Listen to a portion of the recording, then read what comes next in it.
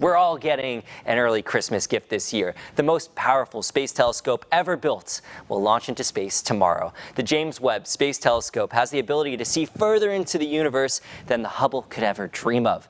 To help explain what we're looking for, we're joined by Dr. Dr. Mark Clampin, the Director of Sciences and Exploration at NASA. Thank you very much for speaking with us this morning. How are you doing? Good morning. I'm fine, thank you. All right, I've got Very a few excited. questions for you. First one, Dr. Clampin, what will this telescope be able to show us that we haven't been able to see before? Is there something that we're searching for or hoping to see? So there are a couple of things that this telescope will really do very well. One of the first ones is that we're trying to see the very first galaxies that formed in the universe. So with Hubble, we've been able to see back to about a billion years after the Big Bang. But we really want to study the history of the universe and start from the very first galaxies that formed in the universe about 100 to 300 million years after the Big Bang. So to do that, we need a big telescope that collects a lot more light than Hubble and works in the infrared because the light from these very first galaxies is going to be red shifted or Doppler shifted into the infrared. So you can't even see them in the, the optical, which is why we can't see them with Hubble.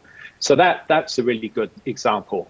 Another is that uh, Hubble's taken all these beautiful pictures of um, clouds, dark clouds in the galaxy where stars are being born. And with Webb, we'll be able to peer inside those clouds and study how stars are formed, how planetary systems form around those stars. And then finally, it's going to help us in our search for other worlds. We know there are about 4,000 planets um, out orbiting stars in our galaxy already and we want to be able to study some of those and understand the composition of their atmospheres. So Dr. Clampin, you're telling me that this yeah. could be one of the first steps to potentially finding a new habitable planet, a new place where maybe we could go or maybe that could be life already? Uh, I'm not sure we're going to be able to go there, but we can certainly take the very first steps to understanding what, what makes a habitable planet.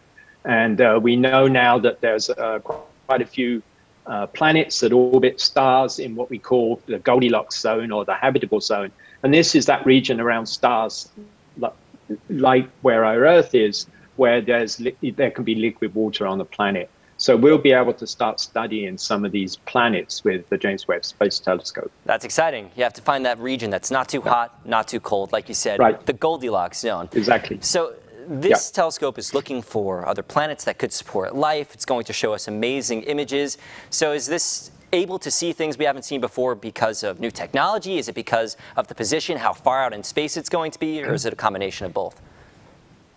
I think it's a combination of all of those things, but really it's the technology. You can see uh, behind me, this is an image of the mirror. So to fly a mirror this big, it's 6.5 meters or 21 feet in diameter you have to fold it up. And uh, the only way you can do that is by going to what we call a segmented mirror. So the mirror is actually made of 18 hexagonal segments. And that allows us to fold some of the segments around the side of the uh, mirror for the launch. And then the telescope needs to be very, very cold, around minus 400 degrees Fahrenheit. Hmm. So you, you know if you put your you know, tele, you know, cell phone in the fridge, it will stop working after a, you know, a while. So you can imagine the technical challenges of trying to build a system that works in that kind of temperature region, minus 400 degrees Fahrenheit. That's 40 degrees above absolute zero. And the reason we go that cold is so we're not observing our own heat signature with the telescope. Mm. And the way we keep it cold is by using these very large membranes the size of a tennis court and they allow the mirror to stay in the shade and cool down.